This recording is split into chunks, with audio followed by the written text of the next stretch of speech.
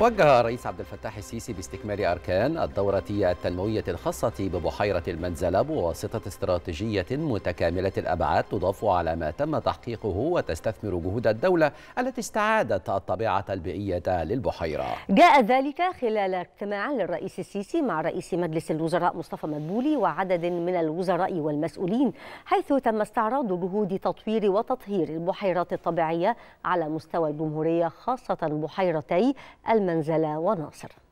اجتمع السيد الرئيس عبد الفتاح السيسي مع الدكتور مصطفى مدبولي رئيس مجلس الوزراء والدكتورة ياسمين فؤاد وزيرة البيئة والسيد السيد القصير وزير الزراعة واستصلاح الأراضي والدكتور هاني سويلم وزير الري والموارد المائية ولواء أركان حرب وليد أبو المجد مدير عام جهاز مشروعات الخدمة الوطنية للقوات المسلحة. ولواء طبيب بيطري. إسلام عطية عبد الحميد رئيس مجلس إدارة الشركة الوطنية للثروة السمكية. والمهندس عمرو عبد الوهاب رئيس مجلس إدارة شركة تنمية الريف المصري. ولواء الحسين فرحات المدير التنفيذي لجهاز حماية وتنمية البحيرات للثروة السمكية. صرح المتحدث الرسمي باسم رئاسة الجمهورية. بأن الاجتماع تناول استعراض جهود تطوير وتطهير البحيرات الطبيعية على مستوى الجمهورية خاصة بحيرتي المنزلة وناصر. وقد اطلع السيد الرئيس في هذا الإطار على مستجدات تطوير وتطهير بحيرة المنزلة التي تعد أكبر وأهم البحيرات الطبيعية في مصر.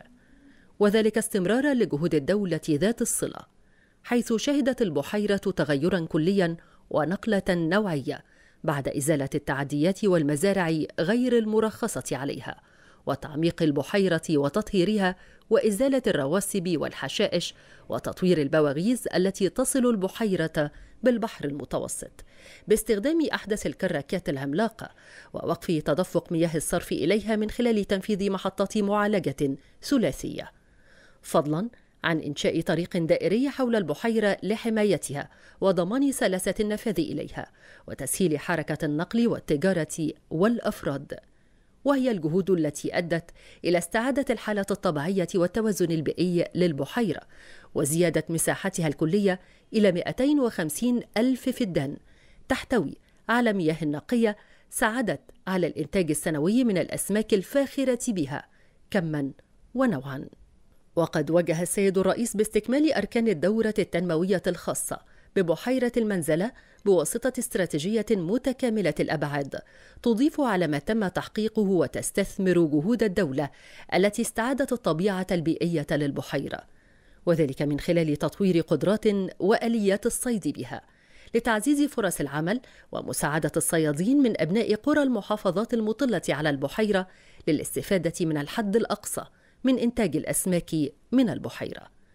وما لذلك من مردود اقتصادي وتجاري وغذائي باعتبار أن البحيرات تمثل حضانة طبيعية لإنتاج الأسماك. كما تابع السيد الرئيس جهود تطوير بحيرة ناصر موجها سيادته بإعداد دراسة متكاملة تستفيد من ثرواتها السمكية من خلال تطوير البحيرة ورفع كفاءتها وتعظيم إمكانات الصيد بها.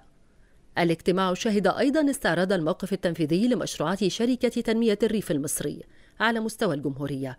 وذلك من حيث إجمالي مساحات الأراضي والبنية التحتية لمشروعات استصلاح الأراضي إلى جانب جهود توفير المقننات المائية فضلا عن معالجة التحديات القائمة وذلك بالتنسيق بين الشركة ووزارتي الزراعة والري والجهات العلمية المتخصصة. وقد وجه السيد الرئيس بتدقيق الدراسات العلمية المتعلقة بكافة عناصر نجاح مشروعات تطوير الريف المصري خاصة ما يتعلق بتوفير المياه ونوعيتها باعتبارها العنصر الحاسم لنجاح الزراعة واستصلاح الأراضي.